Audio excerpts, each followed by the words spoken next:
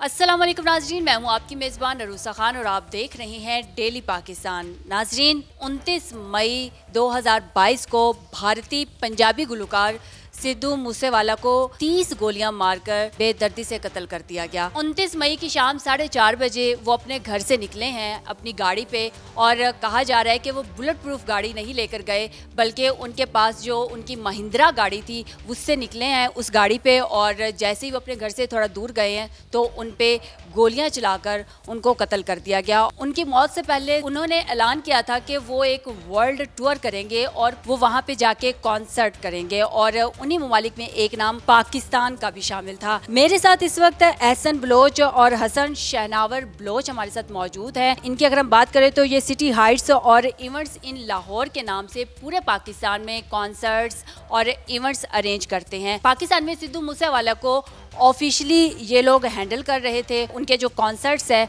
वो यहाँ पे अरेंज करवा रहे थे। तो हम जानते हैं इनसे कि किस तरह से इनका सिद्धू मूसेवाला से रबता हुआ। जिस तरह और भी लोग उनको फॉलो करते हैं हम उनको इंस्टा पे फॉलो कर रहे थे जिसमें हमने एक पोस्ट देखी कि उनका एक वर्ल्ड टूर उन्होंने अनाउंस किया है जिसमें उन्होंने पाकिस्तान भी उसमें मेंशन किया हुआ था। वादा करता है साल दे विच विच पाकिस्तान आवांगे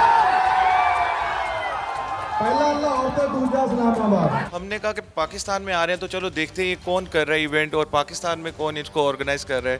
वो जब हमें पता लगा कि एक यूएसए बेस्ड कंपनी है जो इसको पूरा वर्ल्ड टूर इसका ऑर्गेनाइज कर रही है हमारा उनके इंस्टा के थ्रू ही उनके सीईओ से हमारा कांटेक्ट हुआ और हमें पता चला कि अभी पाकिस्तान की जो ऑर्गेनाइजेशन के लिए वो देख रहे हैं लोग। जब आप लोगों ने उनसे रबता किया पाकिस्तान की और भी इवेंट मैनेजमेंट की जो एजेंसीज हैं वो भी रबते में थी या आप लोग वाहिद थे? Sudeep Moosewala is a big name और वो पाकिस्तान में फ़र्स्ट टाइम आ रहा था। तो इसमें हम लकीली हमारा उनसे सबसे पहले कांटेक्ट हो गया था और हमारे साथ उनकी डील क्लोज हो गई। आप लोगों की जो डील सिद्धू मूसावाला से चल रही थी वो प्लेटिनियम के सीईओ के थ्रू चल रही थी या आप लोग डायरेक्ट सिद्धू मूसेवाला के साथ भी रबते में फर्स्टली तो हमारी हरप्रीत सिंह से बात हुई। ये बात है दो महीने पहले की। फिर अब ऐसा हो गया हुआ था कि हमारा सिद्धू भाई से भी हमारा रबता हो जाता था। अगर हम चाहते थे तो वो हम बात कर लेते। पाकिस्तान के किन शहरों में आप उनका कॉन्सर्ट करवा रहे थे? लाहौर इस्लामाबाद और कराची। थ्री कॉन्सर्ट्स थे जिसके हम इवेंट ऑर्गेनाइज करके दे रहे थे। ऑफिशियली डॉक्यूमेंटेशन एग्रीमेंट सब कुछ हो चुका हुआ था या ये अभी होना था? ये सब कुछ हमारा तकरीबन एक महीना पहले हो चुका हुआ था। सब चीज़ें ना हमारे कुछ पेमेंट देने का टाइम आया तो हम दुबई जा रहे थे तो जिस तरह ये मेरा छोटा भाई है हसन इसकी बर्थडे थी तो मैंने उन्हें कहा कि यार आप एक वीडियो मैसेज दे दें फ़ोन पे तो बात करते रहते हैं तो मिल भी लेंगे तो उन्होंने एक इसका मतलब कभी मुलाकात नहीं हुई जी मुलाकात नहीं हुई थी और इसका मुझे पूरी ज़िंदगी दुख रहेगा क्योंकि हमारी मुलाकात बहुत जल्द होने वाली थी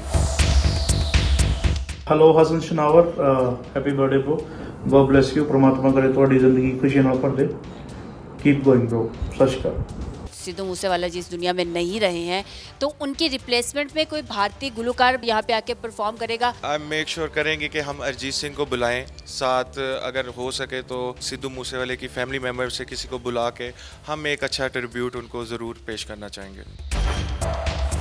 जिन डेट्स पे उनका कॉन्सर्ट था उन्हीं डेट्स पे ये अरिजीत सिंह, जो कि भारतीय गुलकार हैं, और साथ में सिद्धू मूसावाला की वालदा साहिबा जो हैं, उनको बुलाना चाह रहे हैं, और ये इन्होंने अपनी ख्वाहिश का इजहार किया है। इसी के साथ अपनी मेज़बान रूसा खान को इजाज़त दीजिए। देखते रहिए डेली पाकिस्तान। अल्लाह हाफिज़।